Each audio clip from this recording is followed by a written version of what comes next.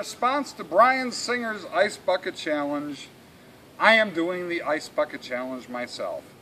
The people that I am going to challenge to do this after me are, in the spirit of Brian's original challenge, pundit Michelle Malkin and Congressman Joe Walsh, because both of them seem to have their heads in buckets of ice all the time anyway, so this shouldn't hurt.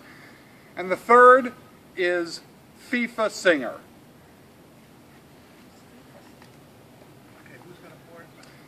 So there's no question about ice?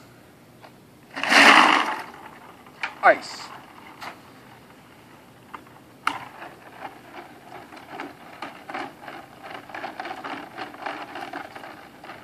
Ready, set,